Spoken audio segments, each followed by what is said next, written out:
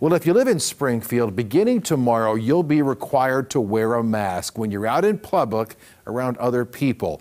KOLR 10's Francis Lynn is here tonight to tell us how business owners are responding to people who say they're never going to wear a mask or be forced to wear one when they are required to be out there in public to wear those masks. What'd you find out, Francis? Well, on social media after the ordinance passed, there are some people who say they will not comply with the mask ordinance. And some people I interviewed at the council meeting on Monday also confirmed they will be risking fines and not going to stores that require masking. Here are some of the comments. Karen says, quote, I will not do it. Susie says, quote, never will I wear a face mask. The city has no right to impose it upon citizens.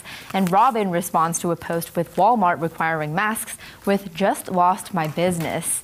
I visited Bass Pro Shops and Andy B's in Springfield today. They both told me they will be complying with the city's ordinance and they're not worried about business declining. We're not too concerned about it impacting our business. We haven't seen a lot of our guests um, since the, the law has passed that um, are noting that they would be refused or not wanting to visit our facilities. Uh, so we don't think that would be a huge concern for us. We're seeing an unprecedented demand for outdoor gear.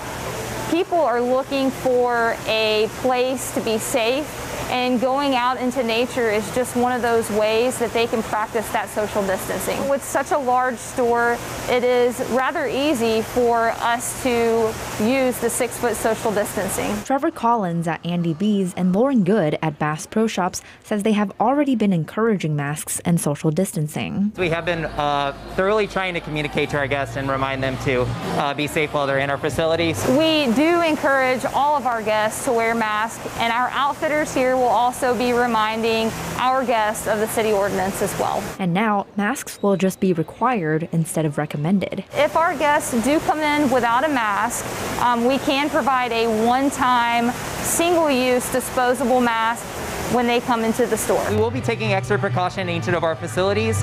Um, here at Andy B Springfield, what we'll be doing is going ahead and socially distancing all of our lanes. Uh, so guests are um, set six feet apart at least. Uh, we'll also be requiring a mask um, in all of our areas unless you're consuming food and beverage. And I reached out to business owners online to ask if they expect the ordinance to affect them. Almost all businesses say they don't expect to be impacted at all, as you can see in these comments.